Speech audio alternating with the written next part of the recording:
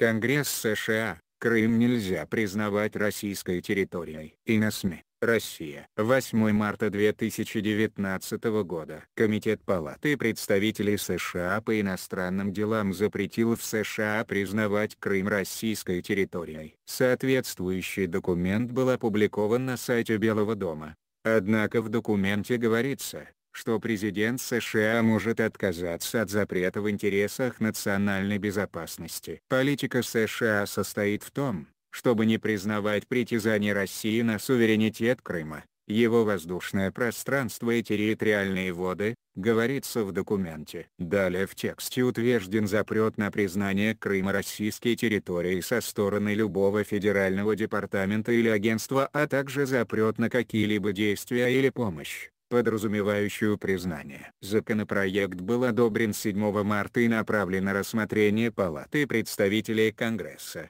Для того, чтобы он стал законом, проект должны одобрить обе палаты Конгресса и подписать президент США. Материалы на СМИ содержат оценки исключительно зарубежных СМИ и не отражают позицию редакции на СМИ.